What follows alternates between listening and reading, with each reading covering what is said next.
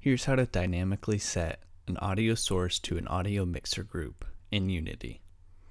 I have a simple scene set up with a cube, a plane, and an audio music file I've imported. First I'll add an audio source to the cube and drag in our audio clip. Now we need to assign an audio mixer group to our cube's audio output.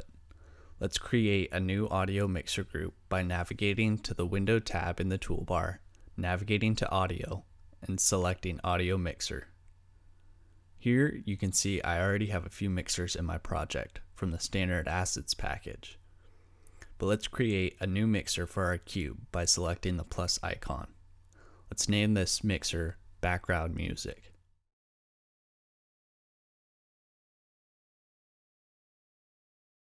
Now let's create our group by selecting the plus icon under the group tab. I'll name this group music. Now we can assign this group to the cube by selecting the cube and dragging this group onto the cube's output variable. If we hit play, we can see in fact that our cube is playing through the music group.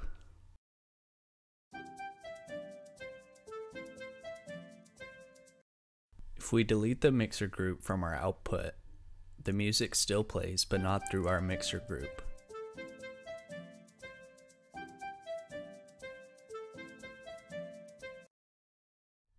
Let's assign the mixer group to our audio source's output in a C-sharp script.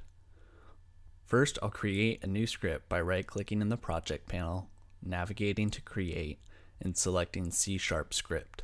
Then I'll double-click the script to open it in Visual Studio.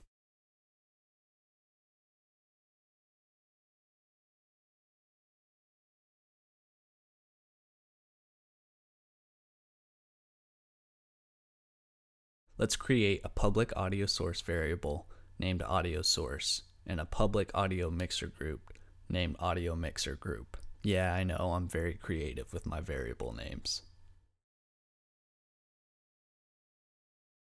We can assign the cube's output mixer group by accessing the output audio mixer group variable from the audio sources component, setting it equal to our audio mixer group variable.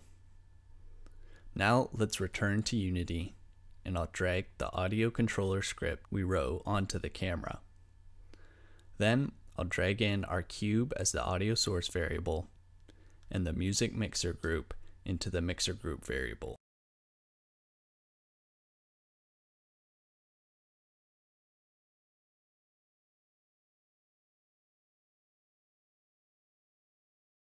As you can see, the cube's output audio mixer group is still empty, but when we run our code, the mixer group is changed from none to the group we set in our audio controller script.